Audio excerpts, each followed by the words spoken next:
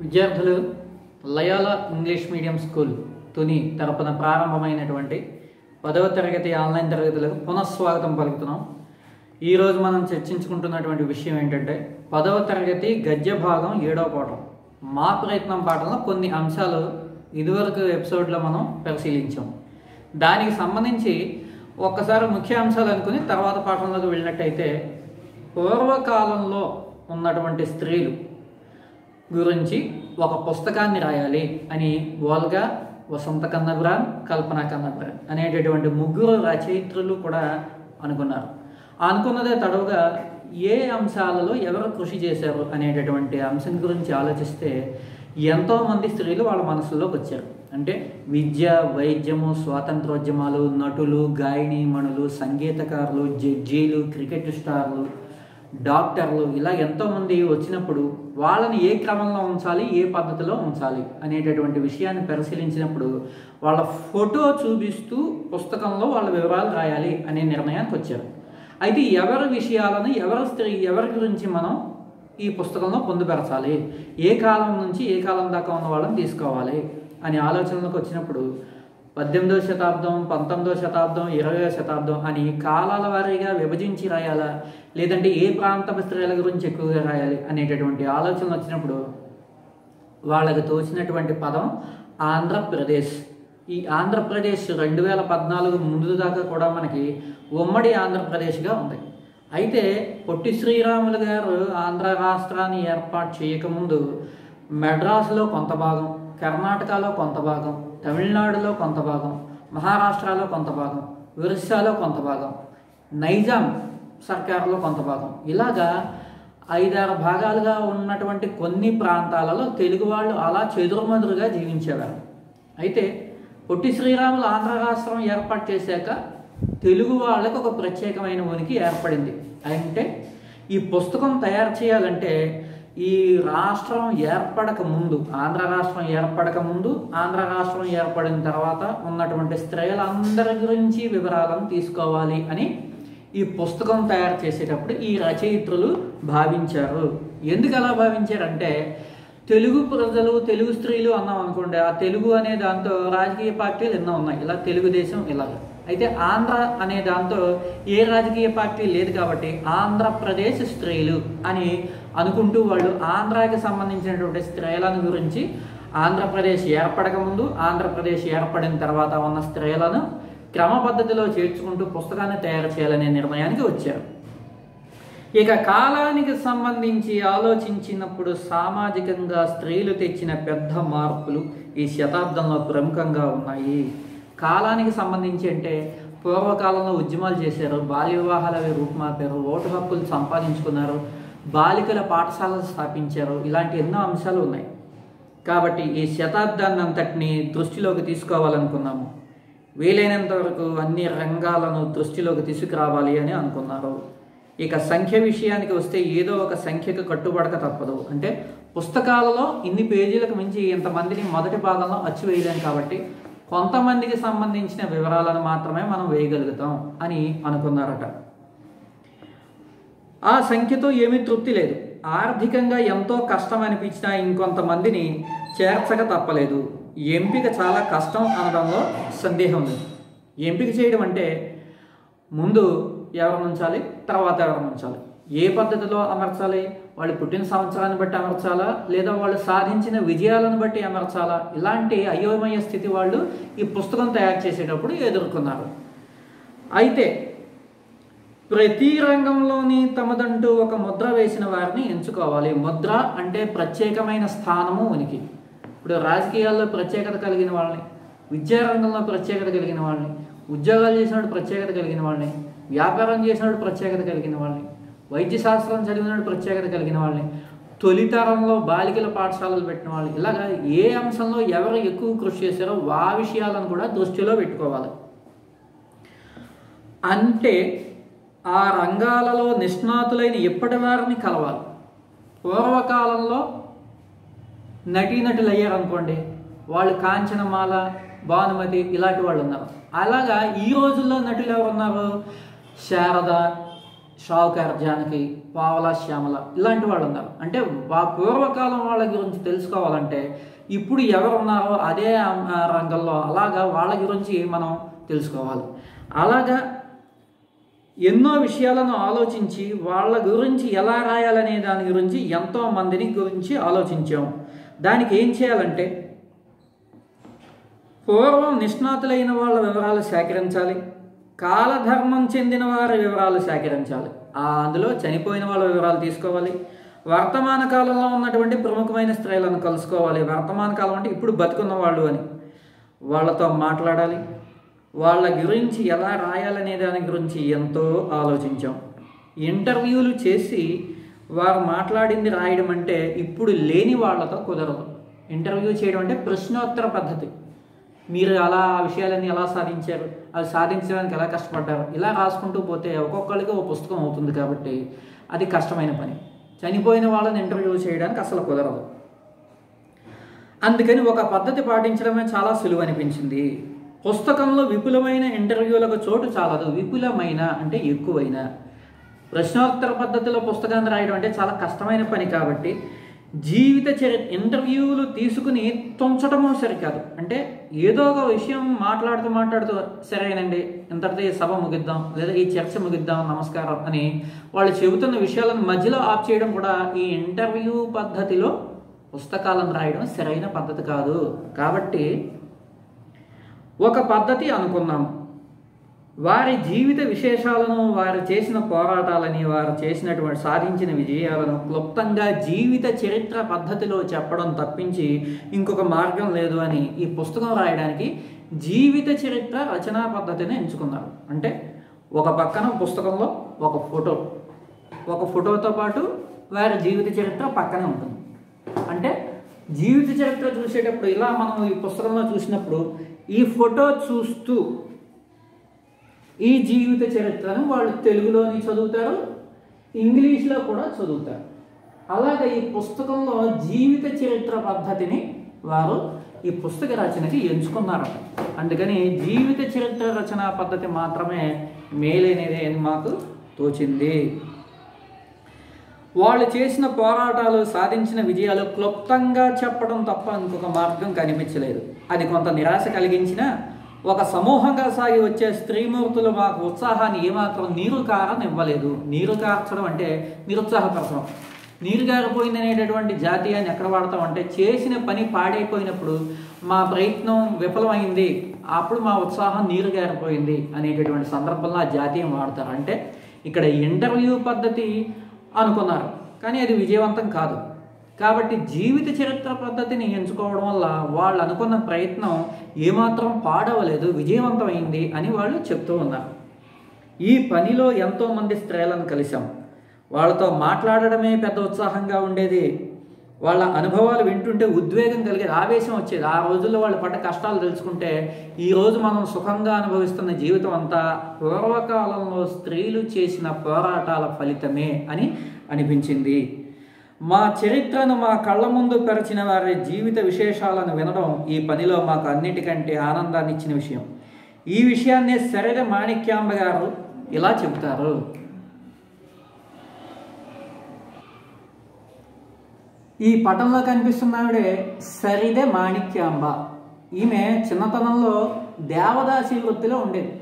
అంటే పూర్వకాలంలో స్త్రీలు దేవాలయాలలో నాట్యం చేస్తూ తమ జీవితాన్ని అక్కడే గడుపుతూ ఉండగలరు కానీ బ్రిటిష్ ప్రభుత్వం అనంతరం స్వాతంత్రం వచ్చేటప్పుడు జరుగుతున్న పరిణామాల్లో ఈ దేవదాసి వృత్తిని ఆ ప్రభుత్వం రద్దు చేసి ఈవిడికి ఉన్నటువంటి భూములను పొలాలను అన్నిటినీ సొంతం చేసుకుంది. అప్పుడు ఈవిడ ఎంతో పేదరికాన్ని అనుభవించింది. అటువంటి సమయంలో ఇక్కడ ఒక కొన్ని ఆంక్షలు పెట్టారు. దేవదాసీలను మొదట నాట్యాలు అవి చేయొద్దన్నారు అని. తర్వాత జరిగినటువంటి నాటకీయ పరిణామాల వల్ల వీళ్ళకి జీవితం ఉండాలి ప్రతి ఒక్కరూ బతికి బట్టకట్టాలి అని అందరికీ సమానమైన స్థాయి ఇవ్వాలి అని వీళ్ళను కూడా నాట్యం చేయమన్నారు ఆడమన్నారు. అనేక విషయాల్లో వీళ్ళకి ప్రోత్సాహాన్ని అందించారని చెబుతూ ఈ పటంలో ఉన్న ఈ శరద మాణిక్యాంబ పంతొమ్మిది వందల పదిలో జన్మించారు ఈమె. ఇప్పుడు కూడా బతికే ఉన్నారు. హైదరాబాద్లో నివసిస్తూ ఉన్నారు. ఈవిడ తన మాటల్లో చెప్తా ఉన్నారు. ఇలాగా ఎంతో మంది విషయాలు మనకు వింటూ ఉంటే ఉద్వేగం కలుగుతూ ఉంటుంది. ఈ సరిద మాణిక్యాంబ చెప్పిన విషయాలను మళ్ళా చూస్తే అప్పుడు మా కులం వారిని ఆడవద్దన్నారు. అంటే నాట్యం అది చేయొద్దన్నారు. తర్వాత అన్ని కులాల వాళ్ళని ఆడవచ్చన్నారు. మా వృత్తి పొలాలు జీవనము అన్నీ తీసేసుకున్నారు. ఇప్పుడు అదే జీవనోపాధిగా అన్ని కులాల వాళ్ళు బతుకుతూ ఉన్నారంటే నాట్యం చేయడం జానపద నృత్యాలు చేయడం ఇలాంటివన్నీ చేస్తూ ఇప్పుడు ప్రజలందరూ కూడా బతుకుతూ ఉన్నారు. ఆ రోజుల్లో జరిగినటువంటి పరిణామాలు మాకు ఇంత కష్టమైన పరిస్థితిని కలిగించాయి అని శరణమాణిక్యాంబ చెప్తా ఉన్నారు.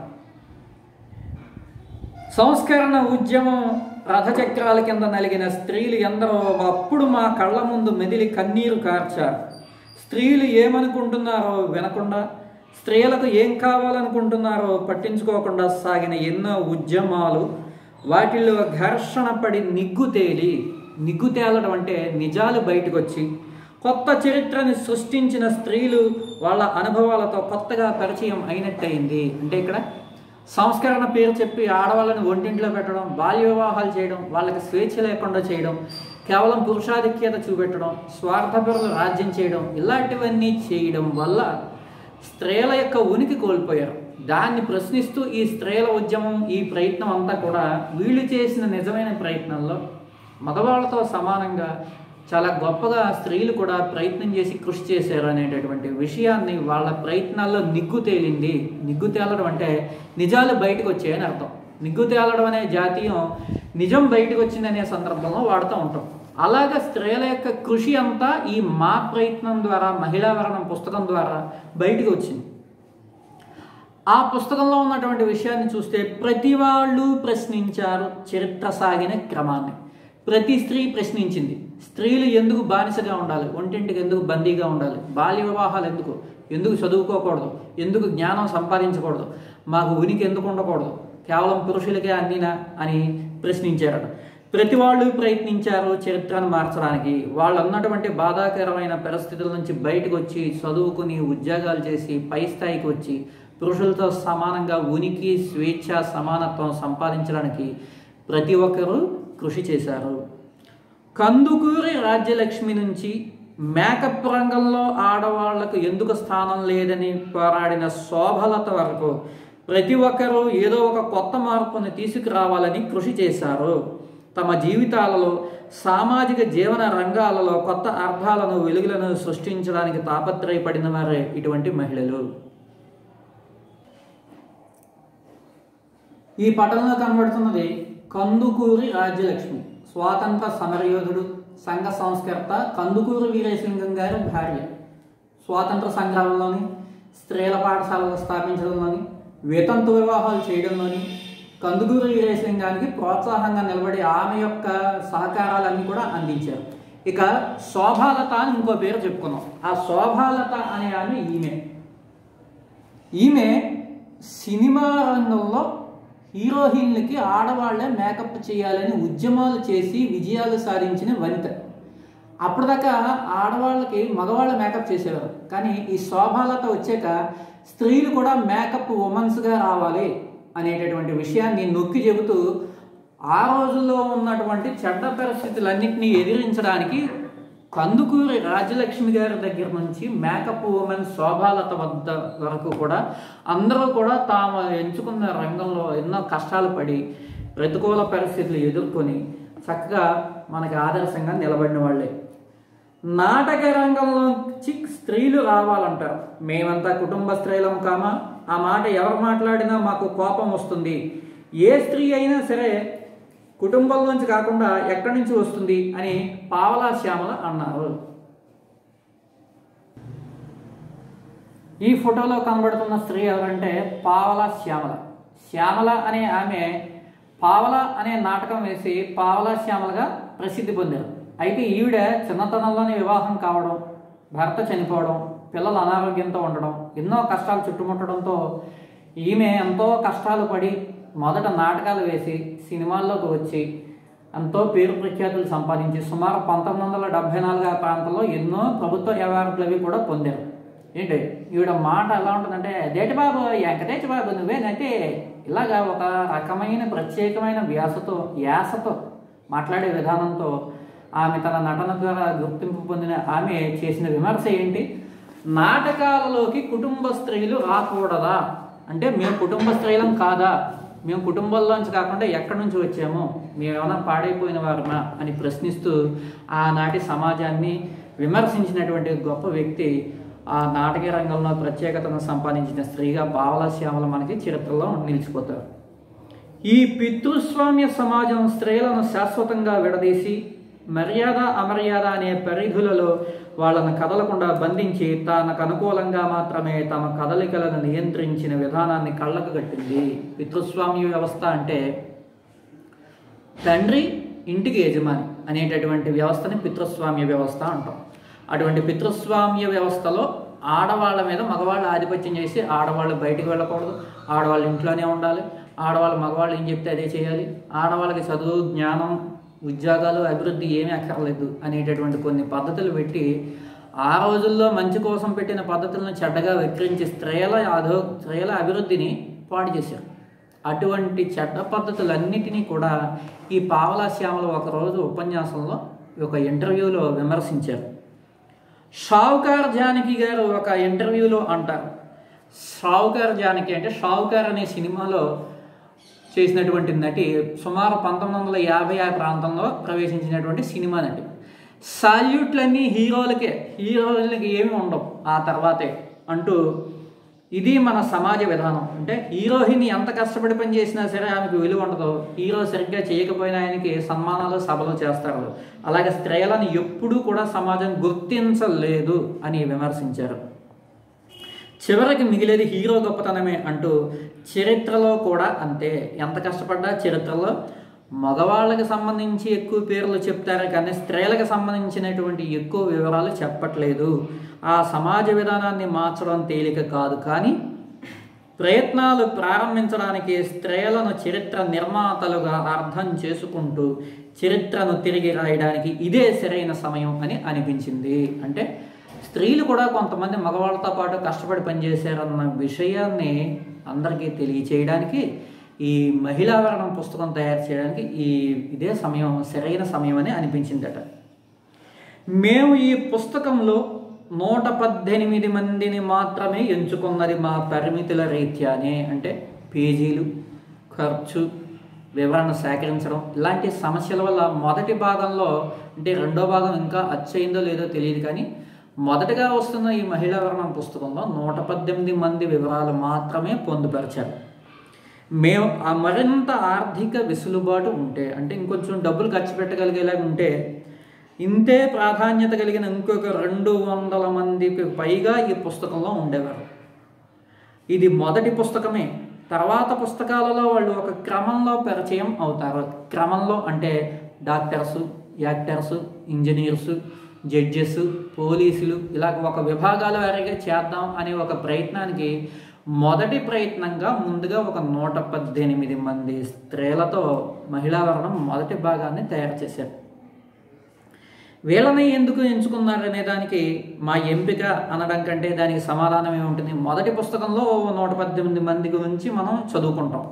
వీళ్ళని ఈ పుస్తకంలో ఎందుకు పెట్టారు అంటే పూర్వకాలంలో కృషి చేసిన వాళ్ళలో మొదటి వాళ్ళు అంటే ప్రయత్నం మొదలుపెట్టిన వాళ్ళగా వీళ్ళని మనం చెప్పుకుంటూ ఆ తర్వాత కొనసాగించిన వాళ్ళని తర్వాత భాగాలు తయారు చేసినప్పుడు చెప్పుకోవచ్చు. కాబట్టి ఎంపిక అనేది మాత్రమే ప్రధానమైన విషయం అని అన్నారు. ఆయా రంగాలలో వాళ్ళు చేసిన కృషి వాళ్ళు చేసిన ముద్ర మొదటిగా ఒక ప్రత్యేక రంగంలో అడుగుపెట్టినప్పుడు వాళ్ళు ఎదుర్కొన్న అనుభవాలు. ఏదైనా ఒక పని చేసేటప్పుడు వాళ్ళు ఎదుర్కొంటున్నటువంటి సమస్యలు ఇవన్నీ కూడా పరిగణనలోనికి తీసుకున్నాము అంటే ఒక పాఠశాల పెట్టాలంటే ఆ పాఠశాల పెట్టడానికి ఆ స్త్రీలు ఎంత కష్టపడ్డారు? ఆ ఊళ్ళో వాళ్ళని ఎలా ఒప్పించారు? అప్పుడు ఎలా విజయం సాధించారు? తర్వాత ఆ ప్రయత్నాన్ని ఎలా కొనసాగించారు? ఇలాగ ఇదే విషయాన్ని ఒక నాటకాల్లోకి వచ్చిన ఒక సినిమాల్లోకి వచ్చిన ఒక డాక్టర్ ఎంబీబీఎస్ కోర్స్ చేయడానికి వచ్చిన ఒక ఉద్యమం చేసిన మొదట ప్రయత్నం చేసిన వాళ్ళు ఎలాంటి సమస్యలు ఎదుర్కొన్నారు అనేటటువంటి విషయాలన్నీ కూడా మేము ఈ ప్రయత్నాల్లోకి తీసుకున్నాము. ఈ స్త్రీలను ఏ రాశిలో ఉంచాలి అనే దానికి కాలక్రమ వివరణ మాత్రమే సరైనది అనిపించింది. కాలక్రమం అంటే సంవత్సరాలను బట్టి పద్దెనిమిది వందల యాభై ఒకటి పద్దెనిమిది వందల యాభై రెండు ఈ పద్ధతిలో సంవత్సరాలను బట్టి వాళ్ళు పుట్టిన తారీఖులను బట్టి ఎవరు ఏ అంశంలో గొప్ప స్థానాన్ని సంపాదించారు. అలా కాలక్రమాన్ని అనుసరించి పుస్తకంలో వ్యక్తుల వివరాలు ఉండాలి అని అనుకున్నారు. ముందు మాట గురించి ఒక నిర్ణయం తీసుకున్నాం అంటే పుస్తకానికి పీఠిక ఎలా రాయాలి అని. తెలుగులో ఇటువంటి ప్రయత్నం మొదటిది కనుక అంటే స్త్రీల గురించి ఒక పెద్ద పుస్తకం రాయడం మొదటిసారి కనుక ఈ పుస్తకం ఆంధ్రప్రదేశ్ చరిత్రకి సంబంధించింది కాబట్టి అంటే ఆంధ్రప్రదేశ్ తెలంగాణ అన్నీ కలిసిన ఉమ్మడి ఆంధ్రప్రదేశ్కి సంబంధించింది కాబట్టి తెలుగులో వివరమైన మాట ఉండాలని అనుకున్నాము. ఇంగ్లీష్లో దాన్ని సంక్షిప్తం చేసాం అంటే ఈ పుస్తకంలో వివరాలు తెలుగులోని ఇంగ్లీష్లోని రెండు భాషల్లోనే ఉంటాయి. కాబట్టి తెలుగులో వివరంగాను ఇంగ్లీష్లో తక్కువగాను రాశారు. ఈ పుస్తకానికి స్త్రీలను ఎంపిక చేయడానికి మాకు ఎందరో సహకరించారో వారందరికీ మా కృతజ్ఞతలు. ఫోటోలు తీయడానికి భరత్ భూషణ్ ఎంచుకున్నాము.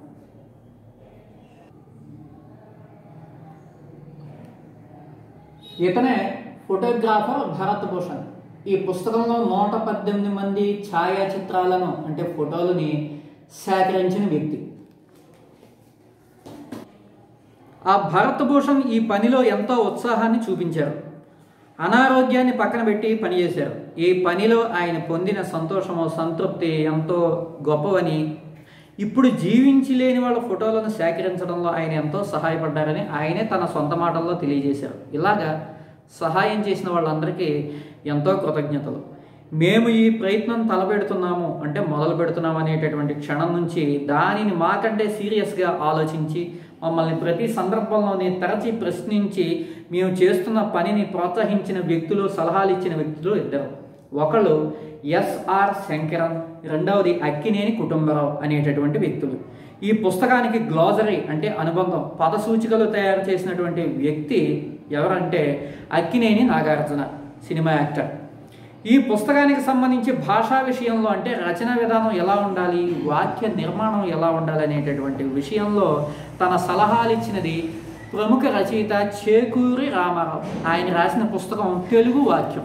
ఆ పుస్తకం చదివితే అసలు వాక్యాలు ఎలా రాయాలి తెలుగు గద్య భాగంలో ఎలా ఉండాలి ఏ నియమాలు పాటించాలి కర్త కర్మ క్రియ ఎలా ఉండాలి అనే విషయాలన్నీ కూడా తెలుగు వాక్యం అనే పుస్తకంలో మనకి వివరంగా ఉంటాయి. ఆయన సహాయంతో ఈ పుస్తకంలో తెలుగు సమాచారం అంతటిని కూడా కొంత తయారు చేశారు. ఈ పుస్తకం ఎలా ఉండాలి? ఈ లోపల విషయానికి తగ్గట్టుగా ఎంతో అందంగా హుందాగా గంభీరంగా ఆకర్షణీయంగా ఎలా పుస్తకాన్ని తీర్చిదిద్దాలనే తపన పడి ఎంతో చక్కటి రూపంతో మాకు అందించిన వ్యక్తి అంటే ఈ పుస్తకాన్ని డిజైన్ చేసిన వ్యక్తి రాజామోహన్ తేళ్ళ. అంటే ఈ మహిళావరణం పుస్తకాన్ని ఇలాగ అందంగా తయారు చేసినటువంటి వ్యక్తి రాజమోహన్ తేళ్ళ అనేటటువంటి వ్యక్తి. అలాగే డిజైన్స్లోని ఆర్ట్ వర్క్లోని ఒక పరిపూర్ణత సాధించడానికి ఆయన ఎంతో కష్టపడ్డాడు. ఆ అనుకున్న సమయంలో రావడానికి మాకంటే ఎక్కువ కష్టపడ్డాడు రాజమోహన్ తేళ్ళ అనే వ్యక్తి. అస్మిత అనేటటువంటి ఆఫీసు హైదరాబాద్లో ఉంది.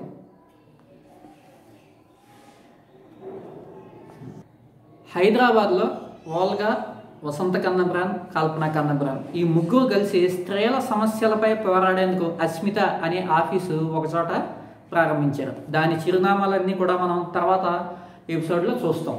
అటువంటి ఆఫీసులో ఈ బాధ్యత తీసుకుని పనిచేసినటువంటి వ్యక్తులు ఇద్దరు. నేనా జాదవ్ కంచె రమాదేవి భరత్ భూషణ్తో పాటు వెళ్ళి జీవిత విశేషాలు సేకరించి అన్నిటినీ ఒక పద్ధతిలో భద్రపరిచి ఒక సంవత్సరం తర్వాత ఒక సంవత్సరం పట్ల నివేదికలు తయారు చేసి ఇలా వీరు తీసుకున్న బాధ్యతలు ఎంతో గొప్పవి. అలాగే పద్మిని సుజాత సుబ్బలక్ష్మి ఇంగ్లీష్లో రాసిన పుస్తకాన్ని కంప్యూటర్ మీద టైప్ చేసి కంపోజ్ చేశారు. ఒక సంవత్సరం పాటు తయారు చేయడానికి ప్రయత్నం చేసినటువంటి ఈ పెద్ద పుస్తకం చేయడానికి ఒక సంవత్సర కాలం పట్టింది. అంత సంవత్సర కాలము కూడా జరిగిన పని వీలుగా అస్మిత ఆఫీస్ నుంచి రోజువారీ పనుల నుంచి మాకు తీరిక కల్పించి అంటే ఈ ముగ్గురు రచయిత్రులకి విరామాన్ని ఇచ్చి ఈ పుస్తకం చేసేలాగా తయారు చేసింది. ఆ పనులను కూడా బేనా అనేటటువంటి స్త్రీ నిర్వహించడం వల్ల మా పని కొంత తేలిక అయ్యింది. ఈ పుస్తక ప్రచురణకి సహకరించిన అందరికీ కూడా మా కృతజ్ఞతలు అని మనకి ఈ మహిళావరణం పుస్తకం పీఠిక అయినటువంటి మా ప్రయత్నం ద్వారా రచయిత్రులైనటువంటి ముగ్గురు వాల్గా వసంత కన్నబ్రాన్ కల్పన కన్నబ్రాన్ మనకి కృతజ్ఞతలు తెలియజేస్తూ ఉన్నారు. అటువంటి మంచి పుస్తకంలో ఎన్నో అంశాలను మనం తర్వాత పరిశీలిద్దాం.